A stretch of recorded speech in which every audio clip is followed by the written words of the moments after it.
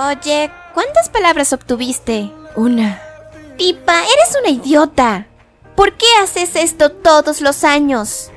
Bienvenidos todos de nuevo a clase. Todos miren, es el idiota que siempre desperdicia su única palabra. ¿Qué fue ese perdedora?